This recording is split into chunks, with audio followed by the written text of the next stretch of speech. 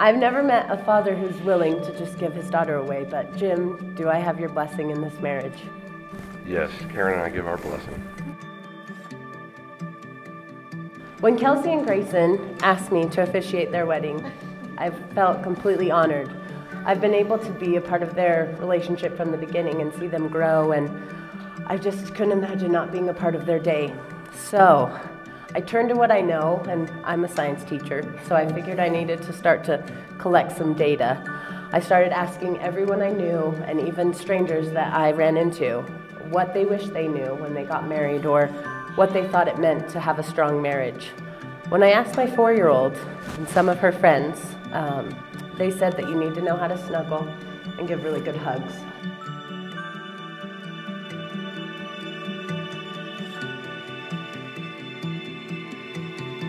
Between all the trips we've taken, all the nights we've stayed in, and all the nights that turned into mornings, I could stand up here for hours and tell you how much I love my best friend. Uh, but I know that you all feel the same. I asked my sixth graders, and they wanted Grayson to know in order to be a good husband, you need to surprise Kelsey with flowers all the time. You need to respect her opinion and help with the chores around the house. When you come home from work, don't ever be angry. they said um, you can look past the hard times and remember to always go on dates. And it's okay to forgive each other when you're angry. Also, you should try to give a piece of your heart instead of a piece of your mind. You can't fix each other, you just have to love each other.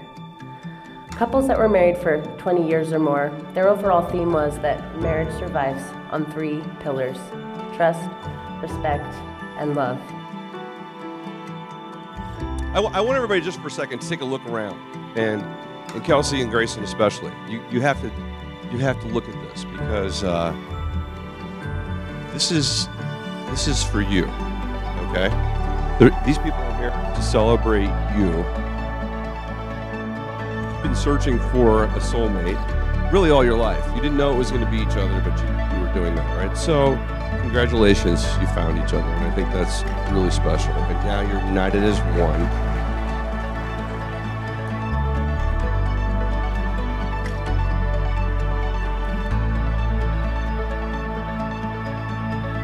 Remember how you feel for the rest of your lives right now. It'll get you through anything in your life. So remember it. When we brought you home from the hospital, I was terrified. It was quite a challenge. Um, how am I going to raise a little girl? Is all I could think of. And um, I have to say that you've made me a great dad.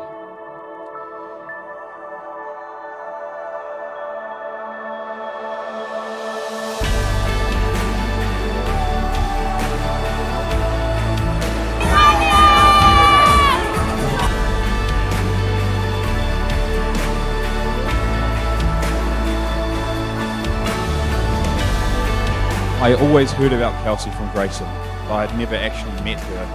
And two Christmases ago, my children and I, we had recently moved to Australia and we flew back to New Zealand to collect some things and we stayed at mum and dad's house.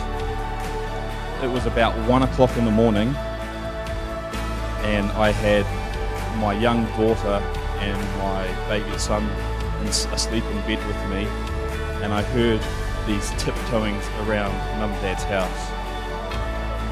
I was asleep in my underwear and there was lights flashing everywhere and I had no idea what was going on. I suppose the dad and me got freaked out someone was burgling the house and I just jumped up out of the bed and went screaming through two doors into the lounge and kind of just yelled out, Who are you? Like, what? No. I, I said more colourful language than that. But I heard Grayson in the background go, Oh, Josh. And Kelsey turned around. and I had to jump behind a couple of other things. I was quite embarrassed. That, that was my introduction to Kelsey. Yes, Dad, I had my underpants on.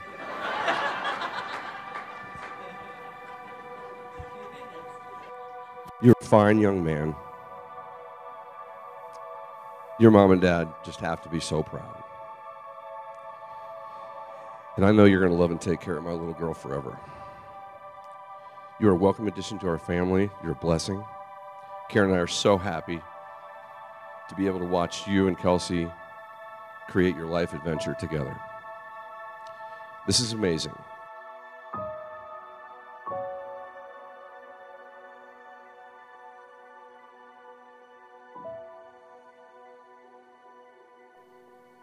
I couldn't imagine any other way to spend the last decade, and it's been one hell of a ride.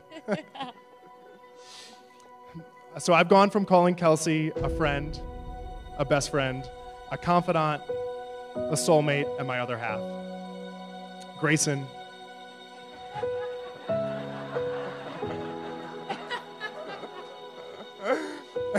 no, but really, Grayson, I honestly could not imagine handing her over to anyone else. I'm really grateful for my brother, and I'm really grateful for Kelsey. Um, it seems like in our time today that you don't always come across what they have. You don't see it every day. And it's just brilliant to see.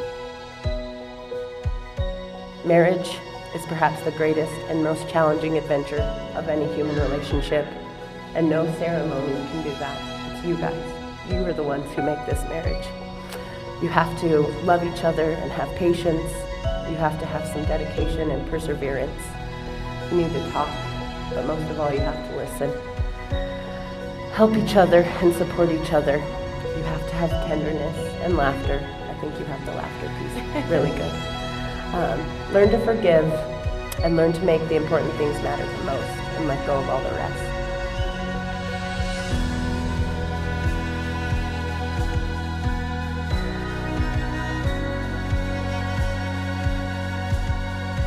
I think that everyone who knows Kels will agree with me when I say that she's just such a genuine, like, amazing person. And um, she's the type of person that walks in a room and you just instantly, like, lights up. I kind of think that speaks volumes to, like, who Kelsey and Grayson are as human beings. I think they have this innate quality where you meet them and you feel like you've known them for your whole entire life. And that's really rare and really special. Um, I know for me, I take a while to warm up to people, but it wasn't like that with Grayson. It kind of just was like, hey, you know. Looking back to our beginning, even now, it still amazes me that our paths ever crossed, let alone turned into the amazing love story that we call ours. Grayson, you approach life in a uniquely beautiful way. Your zest for adventure is matched by your comfortability with things being just how they are. Your personal intention is perfectly balanced with your interests that you take in all people and things around you. You know yourself, and you love yourself for who you are, and that makes it impossible not to fall in love with you. I still remember the day I proposed to you, just when you came out of your toilet, and I was, and I was kneeling on the ground, and instead of asking to marry you, I just said, "What do you reckon?" You said yes, and then you said, "You know, on our wedding day, you actually get to say something nice to me in front of people." So here we are. Um, I think this is what the whole wedding's come down to. I promise to always continue to try to impress you. to always look to change, to make things better, to always improve and be the person that we need me to be so that we can continue to grow, to develop and to become the people that we always talk about who we want to be.